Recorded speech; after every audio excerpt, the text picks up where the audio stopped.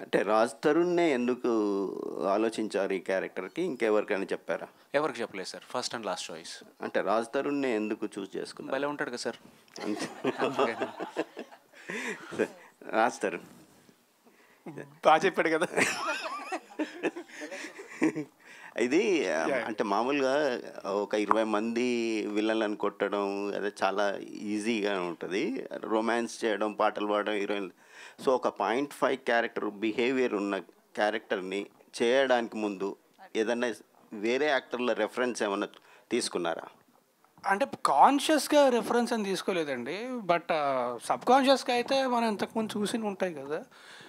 అంతే తప్ప కాన్షియస్గా రిఫరెన్స్ అని తీసుకోలేదు కానీ to be honest I completely followed my director because like I told is an amazing actor so ఆయన ప్రతి ఎక్స్ప్రెషన్ కూడా పెట్టి చూపించగలడు ఆయన చేసిన దాంట్లో ఫిఫ్టీ పర్సెంట్ చేసిన సరిపోద్ది.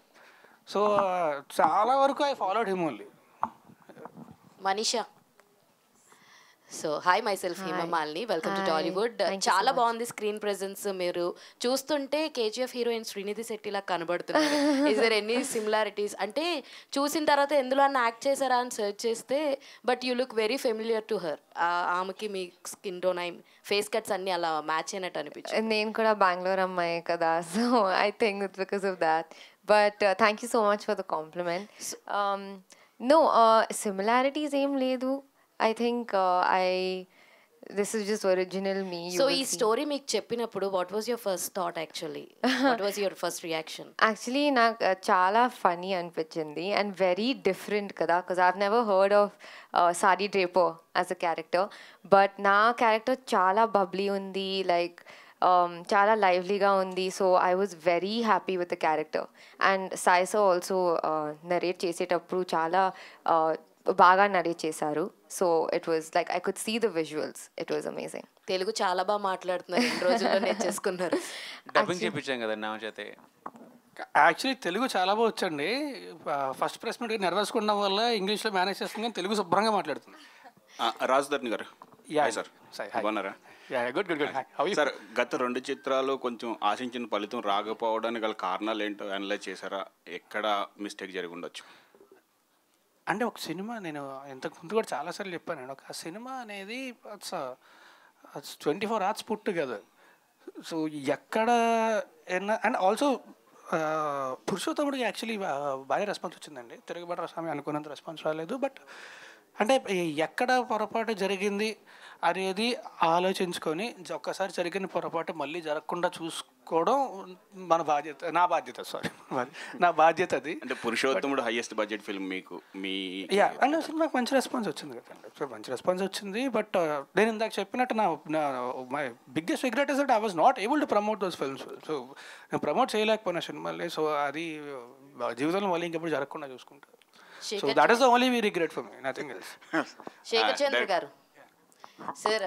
మీది అండ్ రాజ్ తరుణ్ కాంబినేషన్లో మ్యూజిక్ అయితే నిజంగానే అందరూ ఆడియన్స్ కూడా ఎంజాయ్ చేస్తారు సినిమా చూపిస్తే మామ కానీ పిల్లికల్ల పాప సాంగ్ కానీ మీరు చెప్పారు లైక్ ఒక సాంగ్ అన్నది వేరే మూవీలోకి వాడాల్సింది దాన్ని కొంచెం చేంజ్ చేసి పిల్లికల్ల పాప అన్న సాంగ్ యూజ్ చేసామన్నారు కదా అప్పుడు అంటే వేరే కంపోజ్ చేస్తుంటే అది ఏమైందంటే అండి అనుకోకుండా ఆ వర్క్ చేస్తుంటే రాజ్ భయ్య మా స్టూడియోకి వచ్చారనమాట వచ్చి నేను క్యాజువల్గా వెయిట్ చేసిన తను ఆ లాస్ట్లో ఏం విన్నాడో తెలియదు ఒక్క సెకండ్ రెండు సెకండ్లే తను విన్నది రాజ్ భయ్యను త్రినాథ్ గారు డైరెక్టర్ ఇద్దరు వచ్చారనమాట మామూలు డిస్కషన్ హాయ్ త్రినాథ్ గారు అనుకుంటా ఉంటే తను ఎమ్మటే డార్లింగ్ మళ్ళీ సాంగ్ పెట్టేవా? మళ్ళీ ఒక్కసారి ఆ సాంగ్ పెట్టు. అది వేరే వర్క్ చేస్తున్నాను అది కాదు కాదు ఒక్కసారి పెట్టాను.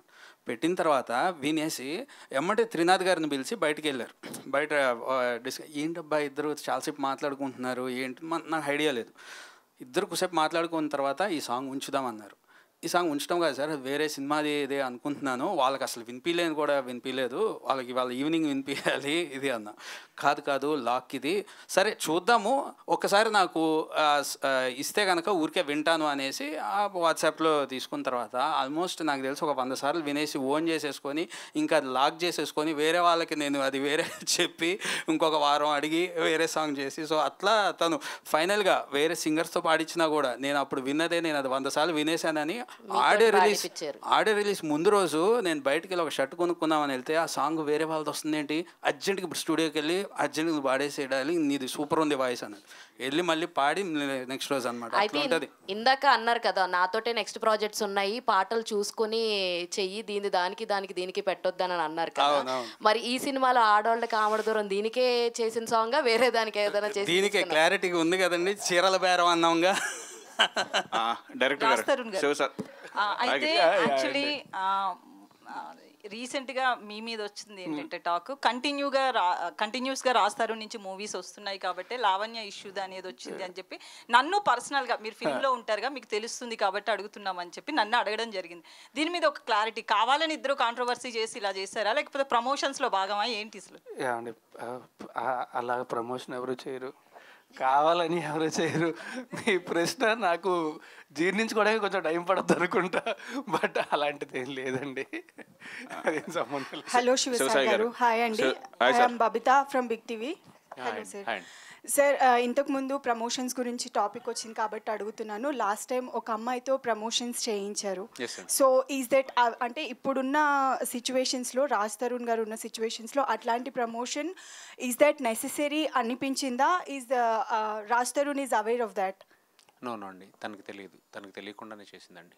మేము అంటే promotions to be frank okay cinema need to talk అని అంటాం కదా. అక్కడ పెట్టిన ప్రతి లైన్ సినిమా గురించి చెప్పిందేనండి. కాకపోతే సింక్ అయింది అంతే అంటే అదే ఇప్పుడున్న సిచ్యువేషన్స్లో రాజ్ తరుణ్ గారు ఇలాంటివి ఫేస్ చేస్తున్న టైంలో అంటే అంత డేర్ ఎందుకు తీసుకోవాలి అనిపించింది అనేది ఐ జస్ట్ వాంటెడ్ టు అంటే సినిమా చేయడమే డేర్ కదండి. ప్రమోషన్ గురించి అదే దట్స్ పార్ట్ ఆఫ్ మూవీ సినిమా చేయడమే అంత పెద్ద డేరింగ్ సినిమా చేస్తున్నాం అనేది dare step promotion is a part of cinema కదా. So I didn't feel like that's a daring moment one of the strategy అంతే ఓకే రాజ్ తరుణ్ గారు మీరు ఆ ప్రమోషన్ వీడియో చూసారా?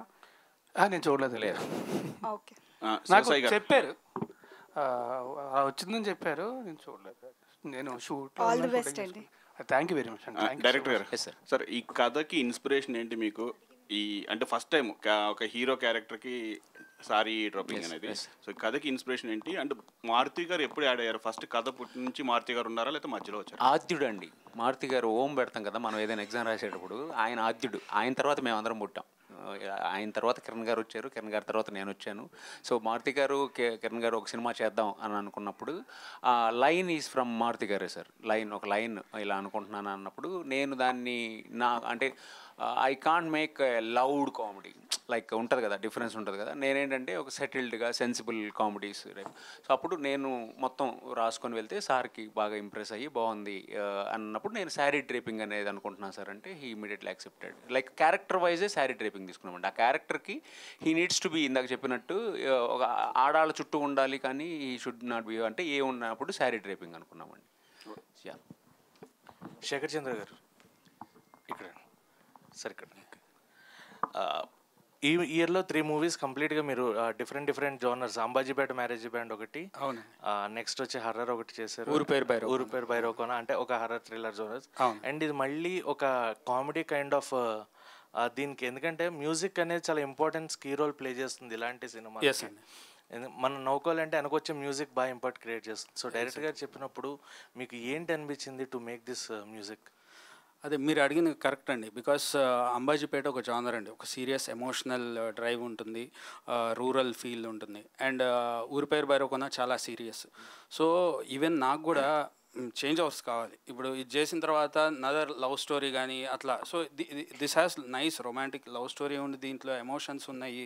And mainly comedy so comedy నాకు కూడా చాలా రోజులు అయిపోయింది. మంచి కామెడీకి మ్యూజిక్ చేసి బ్యాక్గ్రౌండ్ స్కోర్ కానీ సో ఆ ఫన్ నిజంగా ఎంజాయ్ చేస్తామని. ఒక సీన్కి బ్యాక్ బ్యాక్గ్రౌండ్లో వాయిస్తో ఫన్ చేయొచ్చు అండ్ ఇన్స్ట్రుమెంట్స్తో కానీ సో అది ఓవరాల్గా మూవీ చూసేటప్పుడే ఆ హై వచ్చింది. అంటే బాగా ఎంజాయ్ చేస్తూ వర్క్ చేయడానికి స్కోప్ వచ్చింది. అండ్ సాంగ్స్ కూడా. సో రియల్లీ ఐ ఎంజాయ్డ్ అండి. ప్రతి ఒక్కటి చెక్కి and so I feel that నేను ఎంజాయ్ చేస్తే ఆడియన్స్ కూడా అంత ఎంజాయ్ చేస్తారు each and every lyrics and movie కానీ అంతా కూడా. ఓకే. రాజతరం గారు. మీరు సినిమాను థియేటర్లోనే చూడండి అన్నారు ఇందాక. యా. కానీ మీరే ఇక్కడ ఓటీటీలో వచ్చేస్తున్నట్టుగా పెట్టేశారు కదా. ఏంటి? లేదండి. లేదా?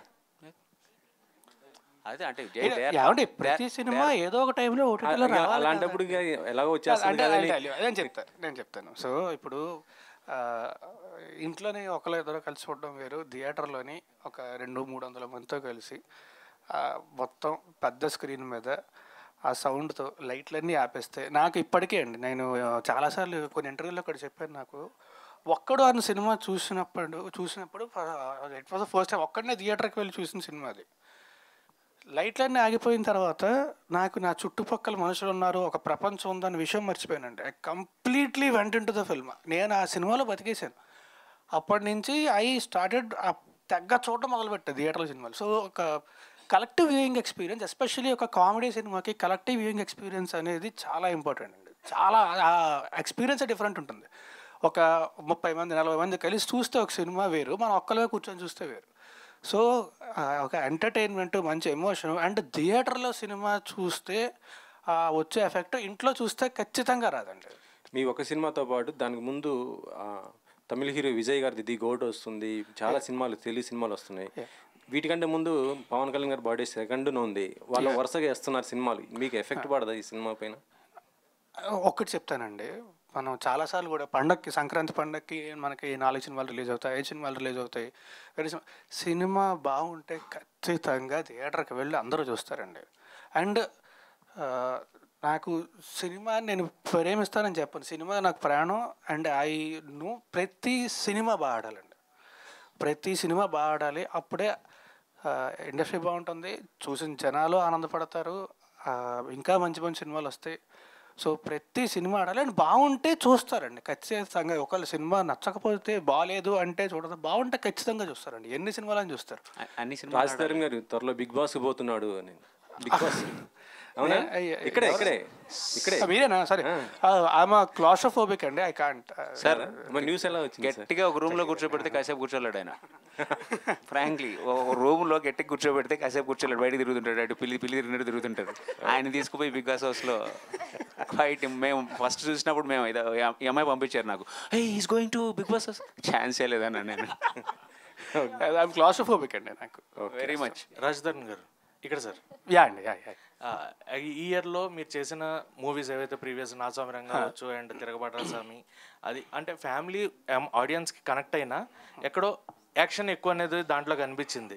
సో మళ్ళీ ఈ భలే ఉన్నాడే. ట్రైలర్ చూస్తే we are enjoying a lot అందులో వీటీవీ గణేష్ గారు మీది సీన్స్ అయితే బాగా ఎంజాయ్ చేస్తున్నాం. సో మళ్ళీ మీరు మీ స్ట్రాంగ్ జోనర్లోకి మళ్ళీ వెనక్కి వచ్చారు ఈ సినిమాతో అని అనుకున్నారు?